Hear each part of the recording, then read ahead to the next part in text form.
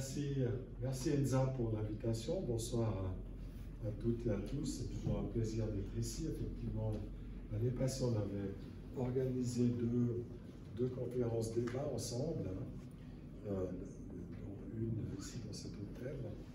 Euh, c'est toujours un plaisir d'être avec les membres, avec les membres du CDE. Alors effectivement, euh, je suis un peu à contre-emploi. Il y a déjà longtemps que j'ai appris à marcher, hein, ça fait plus 60 Mais c'est vrai que c'est vrai que je marchais sans m'en rendre compte, et puis là, je, je, me suis dit, je vais marcher volontairement, donc euh, en, pleine, en pleine conscience de cause. Euh, donc voilà, effectivement, ce que, ce que j'avais décidé de faire, euh, sans raconter ma vie, mais c'est vrai que j'avais décidé de prendre une espèce de retraite anticipée en 2019, fin 2019. Et puis, comme toujours, quand on a un peu un point de changement dans sa vie, ça permet de revenir un peu en arrière, de se questionner sur ce qu'on a fait, parce qu'on est tellement dans la vie courante, sous le stress, en train de toujours foncer, etc., qu'on n'a pas le temps de regarder, de regarder le chemin parcouru. Et j'avais eu cette envie en 2019, sachant que j'allais bientôt m'arrêter. Et comme je suis né en Valais, il y a trop longtemps, enfin voilà, et puis que je suis venu m'installer à Genève il y a 45 ans pour faire mes études, euh, j'ai toujours gardé des liens. Mes parents sont encore vivants, ça maintient. Hein. Mon père a 96 ans et conduit toujours sa voiture. Bon, il ne va pas très loin, hein, mais il a l'autorisation de conduire dans la commune déjà pas mal. Euh, avec ma mère, ils sont toujours ensemble. Donc comme tous les Valaisans, j'ai retapé un petit, euh, petite grange dans un coin. Donc j'y vais souvent, enfin je vais souvent en vacances pour voir ma famille et puis euh, balader tout ça. Puis donc en 2019, comme je, vais, je fais souvent un petit peu de montagne, enfin pas, pas d'alpinisme, je me balade en montagne parce que j'aime bien ça, puis c'est assez raide chez nous, moi je viens du Bas-Valais vers Saint-Maurice et Viana pour ceux qui connaissent, en face des bains de la Baie. D'ailleurs, euh, d'ailleurs ben, je vais vous montrer. Ah, ben, il y a ma tête qui empêche. D'ailleurs, je, voilà, j'ai la maison juste derrière le front. vous avez en face la cime de l'Est, et puis sur le pied de la cime de l'Est, vous avez Saint-Maurice euh, ici et, et monté là-bas. Bref, donc je me suis dit, pourquoi pas se lancer dans un petit tour du canton, mon canton d'origine Ça permet de revenir aux sources, puis de faire marcher ce qui me restait de neurones après 45 ans de vie passée à Genève. Et j'ai attaqué, j'ai commencé à Saint-Gingolf, au mois de juillet 2019. Puis je me suis dit, je vais faire 20 euh, jours de marche, seul. Euh, donc j'ai un peu la trouille quand même de ne pas pouvoir y arriver. Parce que je dis, même si on marche un peu dans les rues de Genève et qu'on fait tout, quelques excursions en montagne, tu n'es pas sûr de pouvoir arriver, de marcher 8 heures par jour avec un sac à dos de 10 kg sur le dos, avec quand même, euh, ça grimpe, hein, je peux vous dire que ça grimpe. Donc je n'étais pas sûr d'y arriver, j'étais déçu bien, en ce sens que premier jour, j'ai beaucoup transpiré, mais j'y suis arrivé. Et voilà, les jours s'enchaînaient. J'ai vu que c'était possible, même avec euh, ce sac sur le dos. Et ça m'a encouragé, donc j'ai fait 20 jours en plusieurs étapes, 4-5 hein, jours, etc. Et euh, j'ai vu, alors on souffre, hein, on perd beaucoup, j'ai perdu 4-5 kilos quand même, euh, beaucoup de cloques, ces petits pansements avec soi. Comment dire, fatigue aussi, parce que pas habitué, pas habitué à tout d'un coup à la vie au grand air, et puis à l'altitude, même si on ne va pas tellement plus haut que 2500 mètres. Hein. J'étais jusqu'à 3000, 3002, mais voilà. Mais enfin, c'est faisable. Et puis après 3 ou 4 jours de marche, vous entrez dans un autre univers si vous voulez, vous, quittez définitivement le monde de la plaine, définitivement, on va dire, les soucis professionnels, euh, les, le stress, on va dire, le stress de la vie quotidienne, et puis vous pénétrez dans une autre dimension. Euh, et ça, ça a été pour moi une grande découverte sur le plan personnel. Euh, on avait déjà dit, hein, certaines personnes m'avaient expliqué que ça, arrivait, mais là, de l'éprouver soi-même, personnellement, c'est vrai que c'était bien. comment décrire cette situation? C'est le rythme de la marche, je crois, qui fait ça.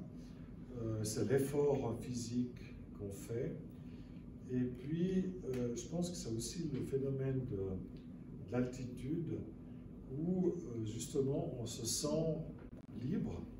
On est très fatigué le soir, mais physiquement, donc on ressent le sentiment d'une fatigue physique, mais on va dire intellectuellement ou spirituellement, on se sent très léger. Et ça, c'est une sensation qui ouais, euh, qui devient addictive, qui devient facilement addictive, parce que quand on marche, euh, on est assez concentré sur la marche quand même, surtout en montagne, parce que on se casse facilement la figure. Si on ne fait pas attention, on glisse, on tombe. Je suis tombé euh, plusieurs fois, presque en moyenne, en tout cas une fois tous les deux jours, presque une fois par jour. Son coude passe dans un trou, sur des cailloux, etc. Et donc, il faut quand même faire attention, parce que si on se fout une cheville, on se casse un truc, ben c'est fini. Hein. Euh, mais j'ai jamais eu de pépin, eu d'accident. Euh, justement, je crois grâce à, cet état-là, à cette espèce de légèreté qu'on finit par acquérir dans cette marche, malgré mes 95, 3 kilos et les 10 kilos de sac supplémentaires sur, sur les épaules. Et alors, euh, ce que je m'étais dit aussi, comme je suis journaliste, comme je n'ai pas arrêté d'écrire euh, des articles, des bouquins, etc., dans ma vie, j'avais pris avec moi mon petit, iPad et tous les soirs, même si j'étais fatigué, je notais toutes les impressions du jour. Les impressions physiques, les idées, les impressions mentales, euh, voilà ce que j'avais ressenti, mes, sentiments, et puis aussi les rencontres que je faisais. Parce que n'étant pas pressé, n'ayant aucune volonté de performance, je ne voulais pas faire le tour du Valais en courant en, 72 heures, enfin vous voyez, c'était pas du tout ça que j'avais envie. Donc j'avais tout le temps faisais des pauses quand il fallait, puis quand je rencontrais des gens, j'aimais bien discuter avec n'importe qui. Euh, et chaque fois, ces rencontres, la plupart du temps, ouais, ont toujours été importantes, enrichissantes. Le premier jour, par exemple, après 3-4 heures de marche, je tombe dans une. Il y avait un alpage, il faisait chaud, les vaches étaient mises à l'ombre dans les, les bois. Et puis, ils vendaient du fromage, puis personne finalement. Il y a quelqu'un qui est arrivé. Et là, il y avait deux Roumains qui parlaient un peu le français. Et puis, une fille ou une espagnole. Et puis, j'ai acheté un morceau de fromage. Finalement, j'ai bu un verre de limonade, commencé à discuter. Pendant trois quarts d'heure, on a discuté de ce qu'ils faisaient là. Ils traisaient les vaches. C'était drôle de voir des Roumains, des Espagnols traire des vaches valaisannes. Euh, dans cet outrage. Enfin voilà, donc c'est intéressant de découvrir ça, euh, la vie de ces gens, pourquoi c'est des Roumains et pas des bons valaisans branoueux, enfin bref. Donc c'est, voilà.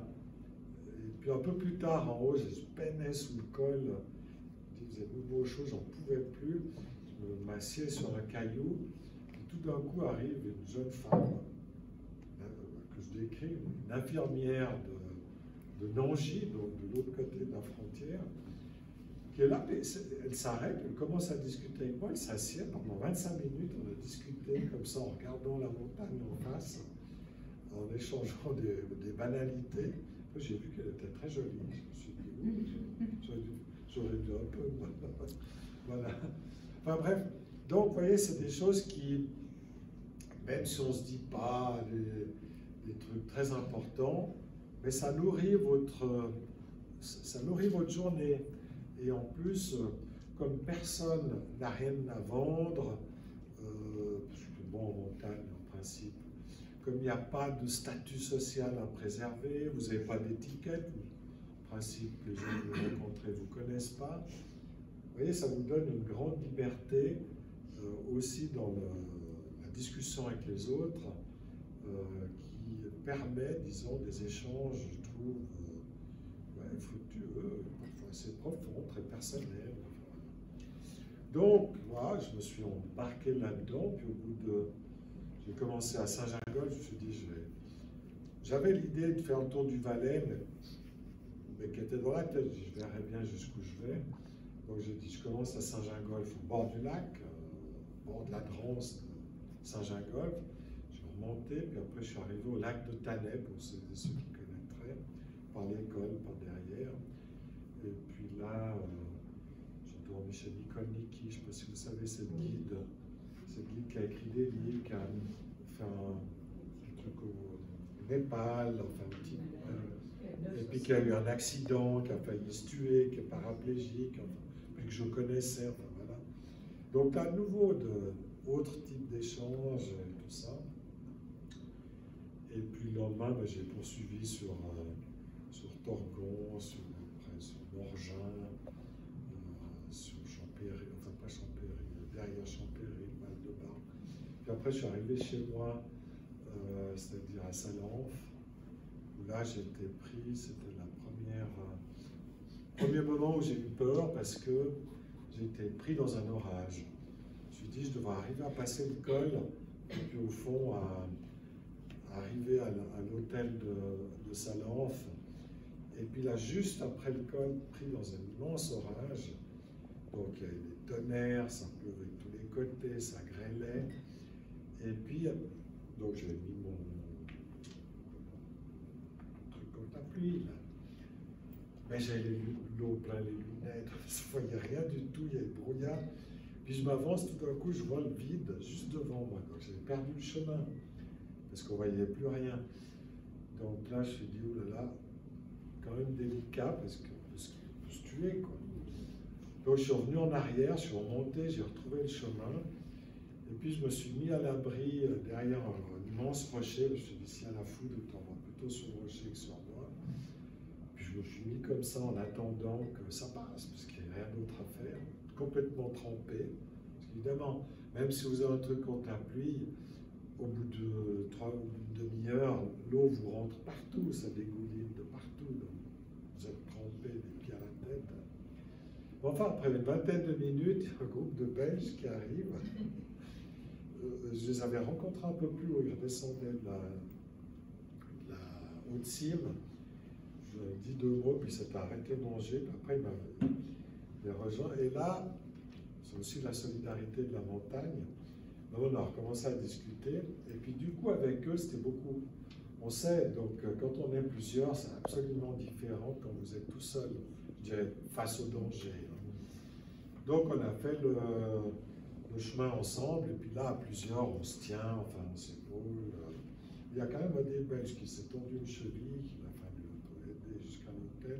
Donc voilà. Enfin, on est arrivé sain et sauf.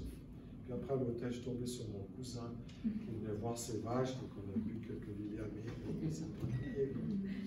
Voilà. Donc, bon, c'est des petites anecdotes. Ce que je trouve aussi, euh, ce qui m'a frappé, enfin ce que j'ai beaucoup aimé, c'est aussi la rencontre avec les animaux. Parce que quand vous êtes seul, vous voyez beaucoup d'animaux. Beaucoup de chamois, de bouquetins, de, je dis, j'ai vu deux vipères, par exemple, euh, de chevreuils, enfin, évidemment, marmottes, euh, enfin, tout ce qui vit, vous le voyez. Parce que vous faites moins de bruit, euh, parce que voilà, puis en alignant les heures de marche, vous tombez fatalement sur, sur des animaux. Et moi, quand je vois des animaux, je leur parle toujours. Euh, il ne faut, pas trop, faut être pas brusque, parce qu'autrement ils ont peur. Surtout les chamois, les chamois sont très craintifs. Les chamois, vous ne pouvez pas les approcher. Mais les bouquetins, par exemple, vous pouvez leur parler comme vous êtes là. parce que c'est les rois de la montagne, ils ne sont pas chassés, ils savent que.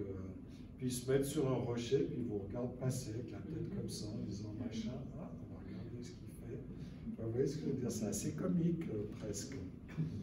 Euh, mais même les chamois, des fois, enfin, moi je leur parle toujours, puis on voit ils s'arrêtent, puis ils regardent, ils se disent Ah, tiens, c'est qui C'est assez, c'est presque un échange, hein, même si évidemment ça ne se passe pas, on parle, il n'y a que moi qui parle.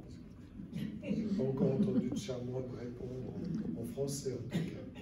Mais enfin, vous voyez, vous entrez en contact avec cette vie animale qu'on n'a pas l'habitude de rencontrer dans nos rues en, principe. Et ça, c'est aussi quelque chose qui vous apporte, qui vous apporte beaucoup. Un autre, un autre sentiment aussi que j'ai découvert, c'est que la montagne est vivante la montagne, on peut dire la pierre, c'est pas vivant. Pour moi, pas du tout. Le, monde minéral est vivant. D'ailleurs, comme je le raconte dans ce petit livre, le valet se soulève. Le valet se soulève à raison de 1 mm par an. Donc, si la montagne se soulève, c'est qu'elle vit quelque part. Elle, grandit. Après, elle s'érode, elle vieillit, etc. Donc la montagne est vivante, mais évidemment c'est un rythme de vie qui est totalement étranger au nôtre, parce que ça, ça se passe sur, euh, sur 100 000 ans, sur un million d'années, c'est pas du tout, euh, c'est pas du tout sur quelques décennies comme, comme Donc ça aussi c'est un sentiment, c'est une découverte euh, qui est intéressante, c'est que le, minéral, à mes yeux, est, est vivant. Couleurs, ça change de couleur dans la journée, suivant, les rayons du soleil, la pluie, le brouillard, etc. Donc, euh, voilà, c'est aussi une, découverte. Après aussi les, rencontres avec les gens, euh, le soir en cabane, peut-être un mot sur l'organisation de la journée, ici quand vous êtes en cabane, euh, vous levez tôt parce que vous avez la diane debout à 6h30, 6h, 7h30, vous allez déjeuner, puis à 8h30, euh, loin ou plus tard. Donc moi, je me lève assez tôt. Je fais toujours euh, une demi-heure, 35 minutes de yoga. Un petit tapis militaire, c'est petit tapis militaire vert en caoutchouc sur mon sac. Donc je fais toujours 30-40 minutes dehors au soleil, même s'il fait froid, aucune importance. Je fais mon yoga et je pense que c'est grâce à ça, des étirements, euh, euh, c'est grâce à ça que je garde un peu de souplesse, parce que je dis quand même, peu les. Voilà. Euh, et je pense que c'est grâce à ça que je ne me suis jamais fait mal en tombant. Je ne me suis jamais rien cassé. Parce que malgré l'âge, malgré les courbatures, garde une certaine souplesse grâce à ces exercices du, matin. Donc plus ce tapis est tout le temps utile parce que si vous vous arrêtez à une heure ou deux heures pour manger quelque chose, petite sieste sur le tapis, regardant les nuages défiler, c'est parfait. je vais souvent me baigner dans les lacs parce qu'il y a beaucoup de lacs d'altitude. Donc je regarde sur le. Je, me sers de Suisse, Mobile, l'application Suisse Mobile. Quand je repère des petits, lacs, je baigne dans ces lacs. Et bon, on ne reste pas longtemps, hein, parce que l'eau est à 3 degrés, donc c'est pas que vous restez à 5 degrés maximum, c'est de l'eau du glacier. Donc on reste pas longtemps, mais du coup, ça vous rebooste. Et puis, couchez, faites une petite sieste pour vous sécher tout frais. Et une fois, j'ai eu la surprise, c'était en dessous de derrière Verbier, à Prafleury, euh, en allant sur la Dixence. J'avais repéré un petit lac, j'avais un peu de temps, j'étais un peu en avance. La cabane était à une heure et demie de marche, donc je n'étais pas pressé. Puis je me suis dit, là, je serai tranquille. Je, me baigne. Je sors du lac, je vois euh, un peu plus loin, on va dire à 50 mètres, ce que j'avais pris pour deux chamois et leurs petits. Et un petit. Et puis, donc, j'étais tranquille, je me suis couché, m'ont regardé, puis ils sont, ils sont approchés de moi, ils sont descendus, m'ont regardé, j'ai pas l'air dangereux, ni. Au bout d'un quart d'heure, il y avait 40 bouquetins avec leurs petits, partout, tout autour de moi. Donc, vous voyez, c'est des rencontres extraordinaires, parce que... Et puis, ils me regardaient, puis il y avait une petite qui broutait, puis après, ils allaient se coucher là. Enfin, ça a duré une heure de temps. Et donc, c'est des souvenirs qui, qui, qui, qui, vous marquent. Vous voyez ce que je veux dire C'est voilà. ce genre d'aventure qui, vous arrive. Alors oui, bon, j'ai fait un livre. Je ne suis pas encore à la minute d'autopromotion, mais ah, j'ai fait un livre où il y a les photos. Il y a toutes les, enfin, pas toutes les photos, j'en ai fait des tas. Donc j'ai que mon iPhone, hein, j'ai rien d'autre. Parce qu'on ne va pas prendre un appareil de photo à 3 kilos, hein, qu'il faut sortir du sein, enfin, c'est impossible. Mais euh, effectivement, j'ai fait, des, fait des photos. Et euh, je sais ce que je voulais Quarantaine des chamois. Oui, c'est Oui, alors les chamois, j'en ai vu beaucoup. Euh, aussi. C'est plus difficile, hein, le, chamois, parce qu'il est le plus craintif. Mais on arrive quand même aussi à, finalement, à dialoguer, on va dire, de façon euh, relativement, relativement proche. Euh, oui, alors l'organisation de la journée. Donc le matin, debout vers 6h, 6h15, exercice, déjeuner, plier bagages, ranger la couche, parce ranger la cabane, etc déjeuner et après, hop, je marche pendant 4-5 heures, jusqu'à une heure, une heure et demie l'après-midi, parce qu'après on commence à avoir faim, pour avoir fait, je dirais, le gros de la journée. Parce que quand on s'arrête pour manger, puis qu'on continue, enfin, qu'on fait une sieste, c'est plus difficile quand même de, se relancer ou d'attaquer un col euh, qui grimpe comme ça. Donc j'essaye de faire les deux tiers de plus difficile, on va dire. Comme ça, après, je suis tranquille fais une heure, une heure et demie de pause, et puis après j'en marche deux heures jusqu'à 5h30, 5h, 5h30, 6h, ça dépend, dépend des jours.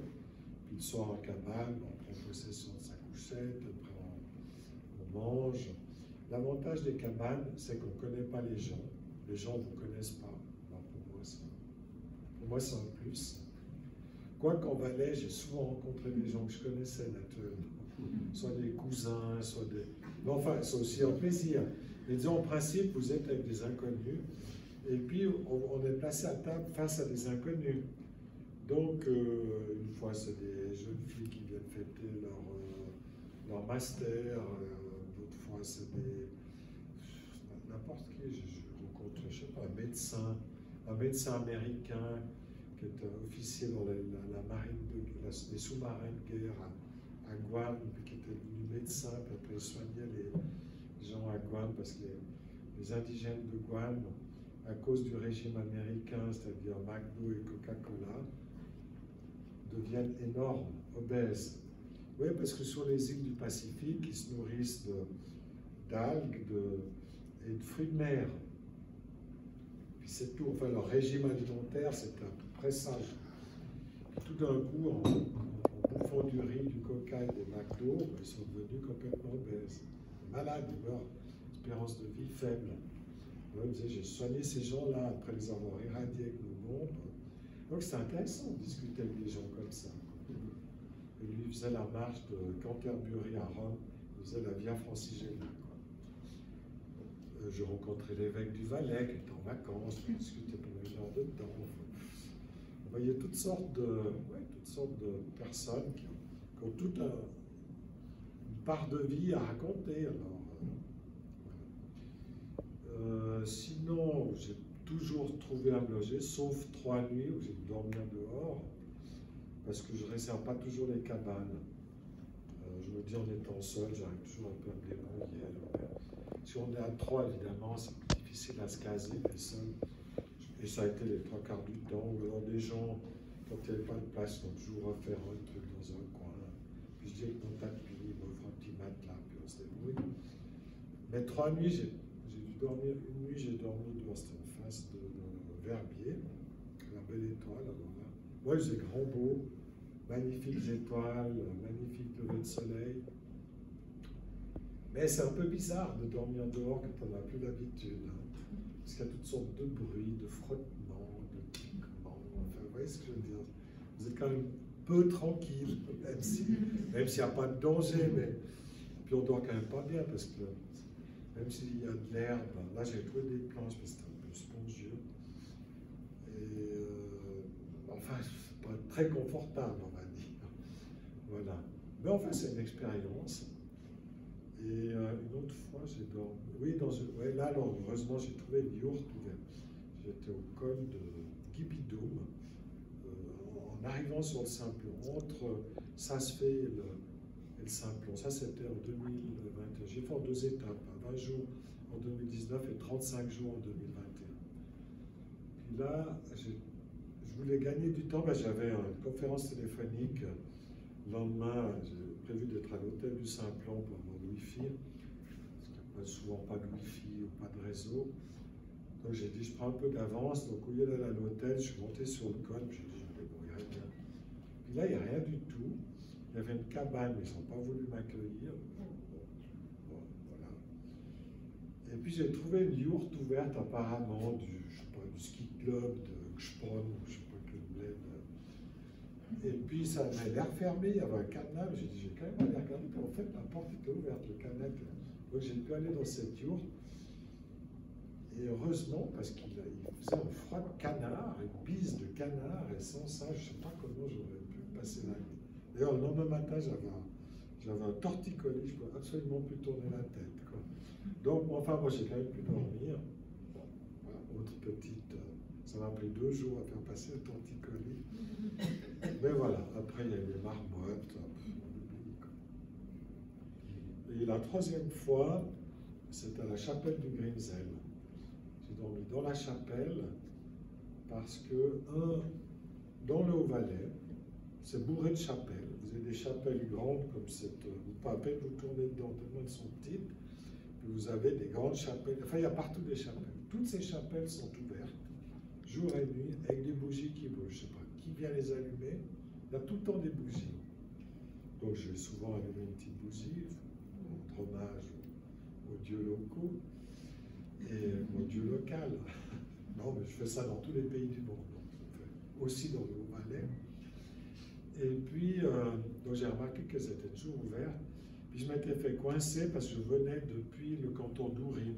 J'étais monté par euh, jusqu'au fond du Valais, enfin jusqu'à la Fourca, mais à Ulriken, je m'étais dit plutôt que de monter tout droit, je passe, je prends le Nufnen, et puis je vais dormir au Tessin, puis je vais dormir à Oury, je viens par derrière. Je fais une petite feinte, je, je reviens par voilà.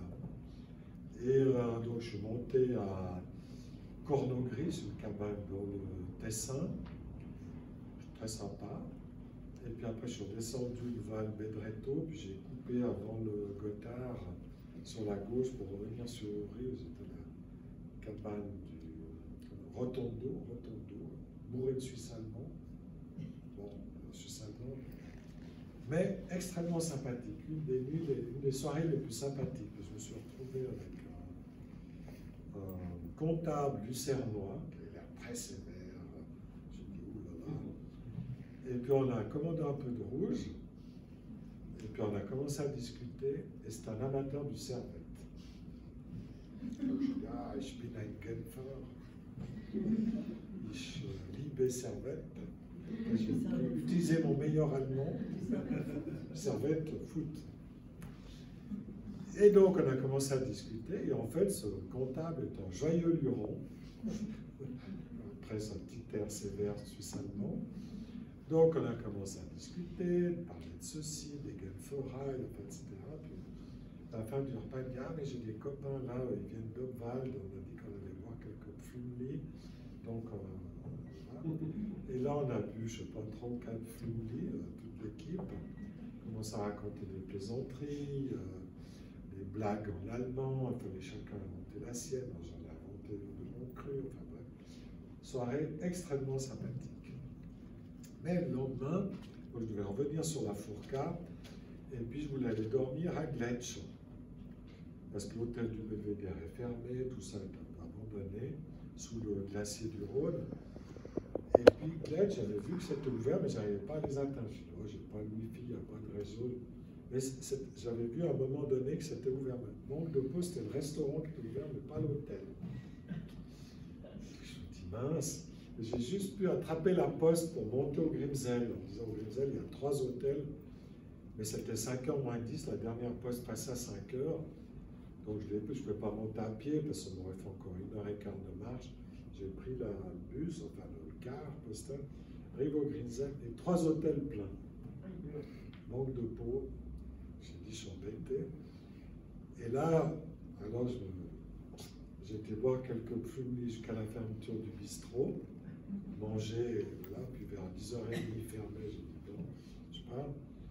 Et puis je me suis installé, en fait, je me suis installé dans la chapelle, c'était fantastique, parce que c'était tempéré, il y avait, on ne sentait pas le vent froid qui soufflait, il y avait une vingtaine de bougies, ça donnait un peu de chaleur, il n'y a personne qui vous, qui vous ennuie, vous êtes en bonne compagnie et vous dormez très bien. Au fond de la chapelle, hein. Le lendemain, il y a une dame qui arrive à 6h15. finalement, on a discuté après pendant une demi-heure. Enfin, vous voyez, ce type d'échange. Moi, j'étais encore, je sortais à peine mon sac de couchage, donc voilà. Euh, mais elle ne s'est pas du tout offusquée, donc. ouais, c'était des petites aventures, mais chaque jour, chaque jour, il y a une aventure, on va dire. A, il y a quelque chose qui se passe extraordinaire au sens de performance, mais au sens de, de rencontre, de sentiment. Et donc, euh, voilà, tout ça a duré 55 jours. Ça m'a fait 1100 km. Euh, j'ai perdu deux fois 5 ou 6 kilos en deux étés, mais j'ai vite repris. Hein. À partir du mois d'octobre, les kilos reprennent. Enfin voilà. Et donc, euh, expérience tout à fait ouais, euh, ouais, extraordinaire pour moi, c'est-à-dire euh, hors du commun, enfin, ouais, hors de, cas, transporté dans un, un, autre monde. Et aussi, vous développez, je trouve, une. Ah, j'aime pas trop, mais disons une espèce de, de vie spirituelle parce que vous êtes en communication avec, avec la création, avec le monde. Quoi. Donc, ça, nourrit de l'intérieur. Et ça, c'est quelque chose qui vous reste longtemps après. Moi, j'ai bien connu, pour ceux, d'entre vous qui savent de qui il s'agit, l'écrivain vois qui s'appelait Nicolas Bouvier.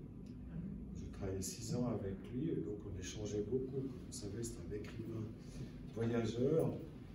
Et lui, il disait toujours que le voyage, le voyage vous fait et vous défait. C'est-à-dire qu'il vous fait parce qu'il nourrit, puis il vous défait parce qu'il vous oblige à abandonner au fond tout ce que vous avez. Vous voyez, toutes ces lourdeurs d'existence qui vous, accaparent l'esprit au fond pour rien, pas grand-chose. Et donc il vous défait aussi. Et puisque aussi, c'est que le voyage, souvent il commence quand vous l'avez fini paradoxalement. Parce que ça, c'est un vrai voyage. 55 jours de marche, c'est un vrai voyage. C'est pas juste prendre un avion, aller aux Maldives et se dépêcher de revenir. C'est aussi un voyage, mais c'est un voyage qui vous, euh, habite, hein, faire ce type de, marche. Et donc, après ça, vous apercevez que le voyage continue à vivre en vous, bien qu'il soit terminé formellement. Euh, marchait plus. Et je me suis aperçu justement en rédigeant ce livre, parce que tous les soirs j'avais pris des notes, mais c'est des notes brutes, c'est pas, pas écrit, c'est des sentiments, pour vite noter, pour pas oublier, parce que si vous ne notez pas sur le jour même, vous, commencez par confondre un peu, puis vous oubliez ça. Ce qui s'oublie vite, c'est surtout les sentiments, les émotions, parce que vous passez d'une émotion à l'autre, si vous ne la notez pas, vous mais entre les photos que j'avais faites et ces notes brutes que j'avais prises, ben, trois mois ou quatre mois ou six mois ou une année après, tout se, remet à revivre. Vous voyez ce que dans votre souvenir. et, et, en même temps, vous voyez que vous avez, vous redécouvrez des choses que vous n'avez pas vues au moment où vous marchiez, par exemple. Donc ça, c'est aussi une forme d'expérience que, que j'ai retrouvée en faisant cette marche. Ensuite, que vous dire de plus? Oui, il se trouve que j'ai aussi fait un, en même temps un petit bouquin chez un éditeur belge qui s'appelle Valais République des Glaciers. Euh, c'est une collection qui s'appelle L'âme des peuples. Ce sont des pays ou des villes, puis c'est l'âme de la ville, l'âme de. D'ailleurs, il n'y en a pas sur Genève encore. Mais ça viendra peut-être. On a commencé par le Valais. Et donc, j'ai fait sur l'âme euh, du Valais. Et ça aussi, évidemment, cette marche à mieux comprendre cette âme du Valais dont je suis originaire, mais que j'avais un peu oublié à force de vivre ici à Genève. Et c'est aussi une forme d'expérience. De, Encore une chose, la dernière anecdote, après je m'arrête, euh, c'est euh, j'ai eu peur, j'ai eu peur pendant cet orage, j'ai eu une ou deux fois peur parce que des fois il y a des... un peu de vertige, je ne suis pas familier de, des falaises, je ne suis pas un alpiniste, mais il y a une ou deux fois vous devez descendre des échelles verticales, vous accrochez à des cordes, enfin bref, avec quelques sacs sur le dos, je dis, vous n'êtes pas, forcément un expert de, la montagne. Donc là, un peu la trouille. Une fois aussi, pour franchir un évé, puis il y avait un espèce de précipice juste à côté. Je dit, si je glisse de ce névé, je passe en bas, on retrouvera je sais pas, l'hiver suivant, au printemps, Donc là, j'ai attendu que quelqu'un vienne pour passer ensemble. Parce que dès que vous êtes deux, c'est tout à fait différent Et puis les échelles, là, je me suis lancé tout seul, finalement, ça a été. Euh, L'autre, j'ai attrapé les orages aussi, mais moins fort que le premier, que ça m'a semblé. J'ai quand même été bien mouillé. Puis une fois, j'ai failli quand même y laisser ma peau, c'était un jour très particulier, enfin, où j'ai mauvais. C'était entre la, vallée de Zermatt et Sassfee. C'était entre euh, Greschen et Sassfee. Euh, parce qu'il ouais, faisait pas beau, il avait plu la nuit, donc le chemin est très glissant. Ça, c'est un peu pire, hein, parce que quand c'est beau ou glissant, vous tout, tout de suite tomber. Mais enfin, il y a eu une accalmie, j'ai dit, ah, j'y vais, je vais pas attendre là. Et, puis après 2-3 heures de marche, donc là, il n'y a pas un chat. Là, pendant 5 heures, pas un chat. Rien. J'ai vu quelques chamois. Et, après, non, après 2-3 heures, je tombe sur un Allemand qui venait en face.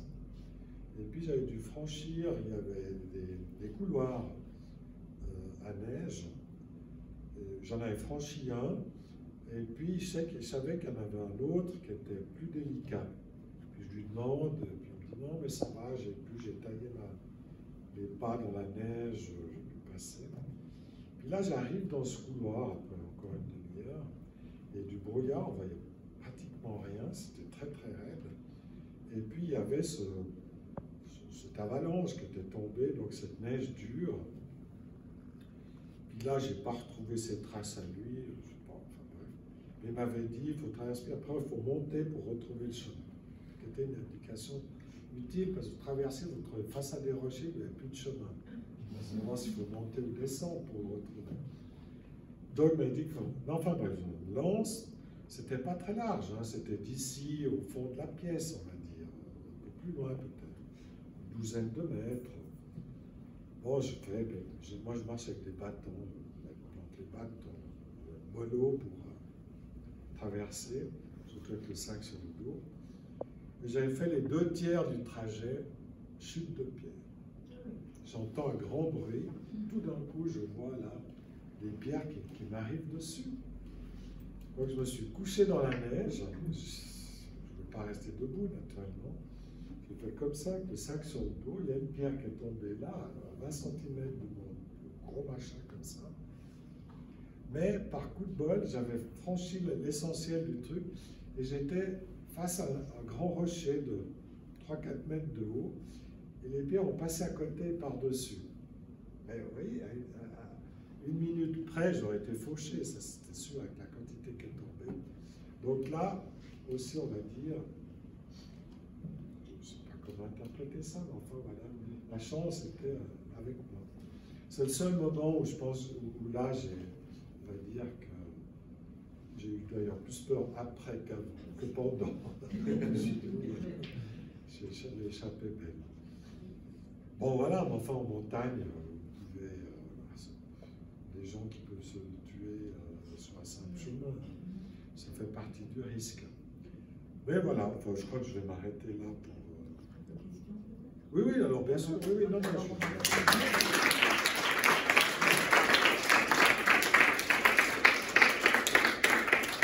Donc, ce pas des exploits, je ne sais pas comment, comment les Sud-Africains qui marchent.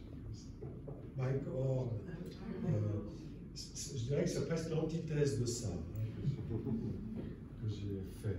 Parce que c'est pas du spectaculaire, c'est pas du.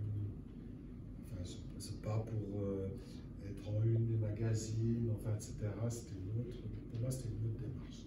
la marche est aussi une démarche questions.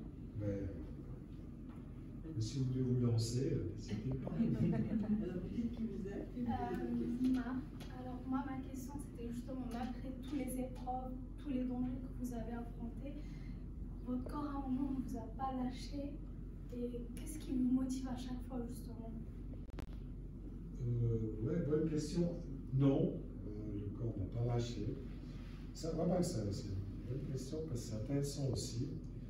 Euh, d'autres découvertes, prises de conscience, on va dire. Je, je faisais ces exercices de yoga ou d'étirement tous les matins. Donc ça, c'est déjà une prise de possession de votre corps, Et puis, ce que j'avais oublié ou j'ai redécouvert, c'est que dans la vie quotidienne, vous ne pensez jamais à votre corps. Vous êtes devant l'ordinateur, vous marchez sur le trottoir pour aller à micro, vous devez vous presser à vous, vous ne pensez jamais à votre corps. Si vous n'êtes pas malade, hein, j'entends, quand vous êtes malade, oui, mais dans la vie normale, vous n'y pensez pas. Jamais. Et tout d'un coup, quand vous êtes en montagne, vous y pensez tout le temps. Parce que soit vous êtes là, vous êtes fatigué, vous avez une cloque au pied qui vous pourrit la vie à la marche, et puis vous avez un pansement la partie, enfin, vous voyez ce que je veux dire. Vous avez toujours mal quelque, toujours mal quelque part. Ça, c'est le premier. Donc, euh, le corps se, rappelle, vous rappelle son existence constamment. Et puis, euh, j'ai remarqué, par exemple, une fois je descendais le glacier d'Alette, il pleuvait aussi, j'étais trempé. Je me suis dit, qu'est-ce que je me fous dans cette galère? Puis il me reste encore 3 ou 4 heures de marche pour atteindre l'hôtel. J'avoue, un coup de déprime. Puis là, j'avais mal à un pied, j'avais, je sais pas, j'avais mal à un, pied. Et puis vous entrez en dialogue avec votre corps. Je, suis en train de parler à mon genou intérieurement, parce que j'avais mal au genou, il y a, cette jambe. Vous voyez ce que je veux dire? Vous, dialoguez vos organes. Euh, c'est façon de parler. Et, ouais, donc c'est très important. Et je pense qu'il faut aussi euh, remercier son corps de l'effort qu'il en fin de journée. Il faut bien manger, il faut, se reposer, etc. Mais effectivement, c'est important. Et ça, ça, je trouve que c'est aussi une leçon de cette marche, parce que finalement, ce corps qu'on oublie les trois quarts du temps, on en a quand même besoin. Puis si possible, en pas trop mauvaise forme. J'ai l'impression que le fait de pratiquer le, yoga au quotidien est quelque chose d'utile ah oui, oui, non, moi je fais tous les matins. Hein, tous les matins, à moins que je sois, je sais pas, dans un avion, mais je veux dire, euh, je fais tous les jours. Depuis 20 euh, ans, 25 ans. Donc, mais je fais ça sans, je dis sans performance, sans aucune. Euh, mais, mais, effectivement, ça fait, c'est une discipline qui fait du bien. Ça fait du bien quand même à la tête. Moi, je ne le fais pas dans un but, on va dire, spirituel, forcément, je fais plutôt entretien, mais ça vous fait du bien à l'esprit quand même. Souvent, ça me donne des idées. Pensez à un truc, une fois je note les idées qui viennent. Et puis, alors, pour une marche comme ça, je pense que c'est même indispensable. Bon, vous êtes, vous êtes très jeune, mais moi qui suis plus âgé, je me rends compte à quel point c'est utile. D'autres questions Oui, on l'a, on l'a. Merci d'abord pour euh, votre présentation, c'était vraiment intéressant. Voilà, je, je m'appelle euh, Vanda Salès Rosbowski et euh, euh, je voulais juste savoir, comme vous dites que c'est un peu addictif, est-ce qu'à votre retour, il y a eu du manque Comment est-ce que vous avez géré le, le retour? Mhm. Oui, alors oui, parce que euh, tout à fait. D'ailleurs, euh, enfin, oui, j'aurais l'envie de recommencer, je vous dirai après. Non, tout, à fait, parce que vous vous sentez bien, très bien, même comme rarement parce que vous avez toutes ces sensations un peu oubliées. Euh, et puis le sentiment, oui, aussi une autre cho- chose, le sentiment que le temps est, à votre disposition. Quand on est en ville, on a toujours un manque de temps. Donc, le temps vous manque, il n'est pas là puisqu'il vous manque. Vous voyez ce que je veux dire? Tandis que quand vous faites ce genre de marche, faites une sieste au soleil en regardant les choucas ou les nuages, vous avez plein de temps. Vous voyez ce que je veux dire? Le temps est à vous. C'est aussi une sensation de, de- de posséder, je ne sais pas, le temps, mais vous voyez ce que je veux dire Qu'il est, il est pour vous. Donc ça, Alors, effectivement, quand c'est fini, ben, il oui, on regrette un peu. On peut encore continuer. Quand- Là, c'est rigolo. Ah oui, ça, je vous explique cette photo. C'était l'avant-dernier jour. Je dis au som- sur mon village. J'étais monté au sommet des Dents de Morgue. Après, j'ai fait le tour sur Fully. Puis je suis revenu derrière, il n'avait plus, il avait un immense orage pendant la nuit. Et puis, donc, il y avait du brouillard encore. Et puis, j'arrive au-dessus de mon village natal. Je venais de croiser, je, tombais nez à nez un parce que je, cueillais des myrtilles et le chamois, il était juste derrière. Il y avait juste un petit truc, il était vraiment à deux mètres comme ça. Mais il est parti, il avait peur. Puis après, j'arrive sur, un- sur la crête, au sommet de la montagne, sur la crête. Puis je vais au bord pour euh, regarder en bas, pour voir ma maison, la maison de mes parents, enfin bref, parce qu'on voyait ça à l'œil. Mais c'était enfin, au sommet. Et puis là, je dis, tiens, mais c'est bizarre, il se passe quelque chose. Et je vois un arc-en-ciel qui est en train de se former. Il n'était pas encore formé comme ça. Mais il y avait un quart d'arc-en-ciel. Puis comme je n'étais pas pressé, j'ai dit, oh, je suis à ce moment-là, on. Et, et après un quart d'heure, dix minutes, l'arc-en-ciel a fait toute la vallée. Et donc j'ai fait cette photo avec le village, la ferme où je suis né, sous l'arc-en-ciel. Mais vous voyez, dix minutes plus tard, s'il n'y aurait pas eu d'arc-en-ciel, il était fini. Donc ça, c'est aussi des choses euh, enfin, bon, c'est personnelles, parce que pour les autres, ça ne pas parler. Enfin, elle a une histoire. Et oui, pour dire, je réponds à votre question, euh, ça vous habite quand même. 23 heures, ça Non, mais ce, ce- Je on en parle. plaisante. Euh, non, alors, ça m'a habité parce que, un, j'ai fini, donc j'ai fait les 20 premiers jours, mais du coup, j'ai eu envie de faire le parcours, de faire ce tour du Valais. Donc, la deuxième année, ces 35 jours, qui m'a permis de marcher 1100 km et, et de mettre le Valais à mes pieds, si je puis dire. Et puis l'année passée, l'été dernier, comme j'étais un peu en manque, j'ai dit, bon, ben, je vais faire le tour de la Suisse romande à pied. Et je suis parti aussi au mois de début juillet. Et ça m'a pris 37 jours pour remonter le Röstigraben depuis, ben, depuis mon village là, en venant de ce côté, longeant la frontière du canton de Vaud, Berne, Fribourg. Puis je suis revenu sur Bienne, je suis repassé sur Soleure, monté jusqu'à Bâle, puis je suis redescendu par le Jura. Ça m'a fait un peu moins, c'était pas 55, 37 jours, et un peu moins de kilomètres, parce que ça monte moins. Donc vous, marchez plus dans la journée. Là, je faisais 20, 22 km en moyenne, tandis que l'année passée, j'ai 25, 27 km en moyenne par jour. du fait que vous avez moins de pente à monter Euh, donc c'était plus rapide. Et puis ça a l'air plus long sur la carte, mais c'est plus court en réalité, justement parce que vous montez. Donc euh, voilà, j'ai fait le tour de la Suisse romande, ça peut être un nouveau livre, on verra, j'ai pris mes notes. Très différent comme expérience, parce que moins éprouvant physiquement, pas de cabane, donc moins de rencontres. Heureusement, on est presque plus seul comme ça en revanche, je rencontrais des gens très intéressants. Encore le Covid, ça m'a m'a redonné confiance dans la Suisse. Parce qu'il y a plein de gens tout à fait particuliers. Je, raconte juste une anecdote, j'anticipe sur la prochaine conférence dans l'année. Euh, parce qu'en 15 ans, on a une même appréciation du Covid, on va dire des choses comme ça. Et puis là, j'étais à Fleurier, euh, je redescendais euh, du Jura, puis je, me dormais un soir à Fleurier, puis j'avais vu sur un petit hôtel de la Poste à 50 francs la nuit. J'ai dit, je vais là.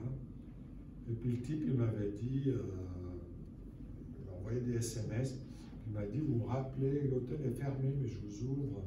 Vous m'envoyez, vous me téléphonez quand vous arrivez, je vais vous ouvrir. Bon, j'arrive à 5h, 5h15, 5h. Téléphone, 10 minutes après, il se pointe. Puis au même moment où il se pointe devant la porte de l'hôtel fermé, il y a un de ses copains qui arrive. Puis il déboutonne sa chemise, mon hôtelier. Et puis il avait plein de marques sur la poitrine. Et c'était les marques des balles tirées par la police bernoise parce qu'il allait manifester contre le Covid à Berne. Et puis alors j'ai dit, bah, et puis je dis, tiens, mais il me dit, oui, oui, parce que moi je suis radicalement euh, contre ces mesures, enfin, etc. Je suis, ça m'insupporte. Mais je ne connaissais pas les manifs, je n'ai jamais manifesté de ma vie. Et donc, je n'étais pas un professionnel de la manif. Et puis, euh, parce que les gens qui vont manifester, ils savent que la police tire avec les fusils à LBD, là. Et donc, ils prennent des bâches pour mettre devant, parce que comme ça, quand la police tire, les balles vont contre la bâche. Mais lui, il n'avait pas de bâche, donc il s'est chopé toutes les balles de la police bernoise. Oui. Enfin, il avait 4 ou 5 impacts. Et ça fait mal, hein, ça fait des gros bleus, je peux vous dire. Et puis donc, on a rigolé. Et puis il me dit, ah, mais vous savez, moi je suis hôtelier, mais je suis surtout fabricant d'absinthe. il avait acheté, à côté de son petit hôtel, il avait acheté une petite chapelle désaffectée qu'il a transformée en lieu de dégustation d'absinthe. Nous avons dégusté 17 absinthes. Donc, pour retourner à l'hôtel, il a fallu un peu se tenir au pilot. Mais 17 vaccins anti-Covid. Voilà. C'était mieux que les vaccins anti-Covid. Voilà, mais ça c'est pour l'année prochaine. Donc vous voyez, on rencontre des gens euh, intéressants. Euh, mais enfin, il y a, d'autres questions. Solange de Gaulle, une question. Vous êtes accompagné par un livre euh, pour, meubler les temps comme ça à l'arrêt ou pas? Non. J'avais pris un bouquin, j'ai pris le bouquin de Daniel de Roulet parce qu'il avait traversé la Suisse. Mais en fait, ça prend de la place. C'est pas pratique. S'il pleut, il est foutu parce qu'il y a pluie, voyez. Et puis, en fait, comme j'ai l'iPhone et l'iPad, des fois, je, regarde là-dessus. Ouais. Et puis, en fait, je remarquais que j'arrive pas tellement à lire. Euh, et puis, s'il fallait, des fois, je, des fois, me réveille la nuit, je lis des trucs sur l'iPad. Et puis pour me guider, oui, un des autres problèmes qu'on a, c'est qu'on se perd beaucoup. On, perd le chemin. évidemment, on se perd quand il y a du brouillard, chemin, parce que le chemin n'est pas toujours très bien tracé. Puis vous, suivez votre pente naturelle, vous voyez, vous, avez un chemin qui a l'air sympa, il a l'air assez large, et pas trop pentu. Évidemment, vous ne voyez pas qu'en fait, c'est pas ce chemin-là qu'il fallait prendre, mais cette espèce de petit virelet tout caillouteux qui partait un peu à gauche là, puis vous le ratez forcément. Parce que vous êtes là, tout guilleret, puis vous ne voyez pas cette d'horrible centre, pas sympathique, mais c'était le chemin que vous auriez dû prendre. Donc, et là c'est très, très embêtant de revenir en arrière. Même si c'est juste 500 mètres, Ah, ça vous, voilà. Donc, euh, je regarde les applications Suisse Mobile, sont très bien faites. Et si on paye l'abonnement, c'est gratuit, mais si on prend l'abonnement à 36 francs, on, a le GPS. Ce qui fait que quand vous êtes dans le brouillard, à 3-4 mètres près, vous voyez. Si vous êtes perdu, vous pouvez voir où est le chemin. Si vous êtes plutôt en haut, plutôt en bas, c'est quand même assez précieux. Si vous ne voulez pas trop perdre de temps avec votre sac sur le il y avait d'autres. Moi j'ai le temps. Hein. Sophie Sophie, maintenant. Euh, est-ce que ces ce voyage, ces prises de conscience, ces rencontres ont changé votre vie? Maintenant Est-ce que vous vivez différemment Oui, je, enfin, ouais, je ne peux pas dire. je ne peux pas dire ça. Mais, mais oui, d'une certaine manière, oui. Ah, ça m'a aidé à passer le cap de ma nouvelle retraite, de ma nouvelle vie, ce qui était déjà pas mal. Hein.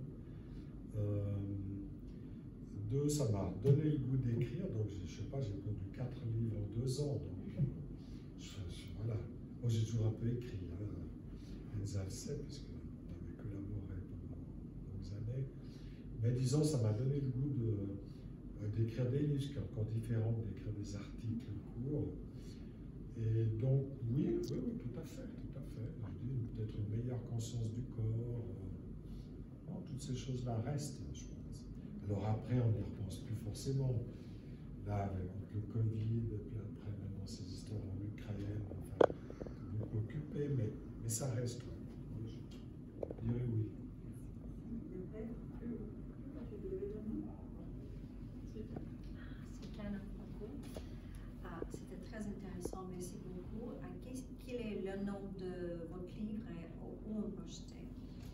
J'en ai pris trois exemples, je pas, voilà, je pas permis de.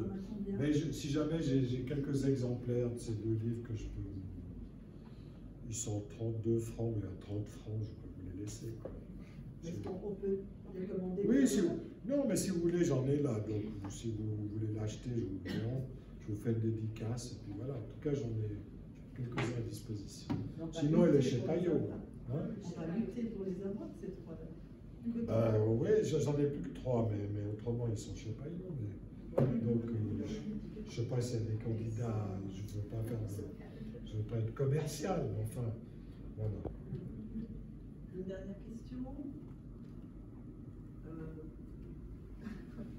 Moi, ma question, c'était justement pourquoi vous avez voulu faire toute seule et pas justement avec une personne Seule Oh, c'est tout simple, c'est que ma fille n'aime pas marcher, et puis ma femme euh, n'aime que ses chevaux, un tout petit peu moins, mais beaucoup ses chevaux. Non, là, je la taquine parce qu'elle euh, n'est pas là, je, je, suis tout à fait ce que je dis. Non, non, mais ma femme a deux, aime beaucoup les chevaux, et souvent le canton de Vaud, elle aime bien les voir, donc elle n'aime pas faire 35 jours sans voir. Donc, on, voilà, c'est D'accord, tout le monde est content. Oui, sauf que ça ne va pas, on ne peut pas mettre les chevaux sur ces chemins. Ça va pas du tout parce qu'ils se cassent une jambe. Mais, mais euh, donc voilà, donc du coup, dans ma famille, il n'y avait pas de, personne d'intéressé. Et puis pour moi, je, me dis aussi franchement, je préfère être seul. J'ai marché une fois avec un copain, c'est sympa, mais au fond, je préfère être seul. Parce que dès que vous êtes deux, vous n'êtes pas fatigué en même temps, vous n'avez pas faim en même temps. L'un trouve que c'est trop dur, que le souper n'était pas bon, que machin n'était pas sympathique. Non, mais je, vous voyez ce que je veux dire. Et puis, et puis au fond, non, mais je, caricature un peu. Et donc, euh, moi je dis, j'aime bien m'arrêter, j'aime bien aller me baigner. Là, le copain était sympa, mais lui, il n'aime pas se baigner dans l'eau froide. Donc, il attend, il a l'air d'attendre que vous voyez ce que je veux dire? Donc, euh, au bout d'un moment, et puis aussi pour rencontrer les gens, vous êtes beaucoup plus disponible pour discuter avec les autres. Donc, euh, j'adorais faire ça tout seul. Et puis, mais, en étant constamment avec d'autres gens, hein, en rencontrant sans arrêt d'autres personnes que je ne connaissais pas. Puis je dis, j'ai eu beaucoup de cousins, de cousines, voilà. même de Genevois, comme c'est plein de, ouais, c'est plein de monde. Alors, euh, Guy, nous, on donne toujours euh, au conférencier qui vient chez nous la, baguette magique. Baguette magique. Oui, tu l'as, ça y est. Qu'est-ce que t'en fais? Ah, si j'avais une baguette magique, euh, je demanderais le don du chant. je ne sais pas chanter, je regrette. On en parle tout à l'heure. Ouais. Merci beaucoup.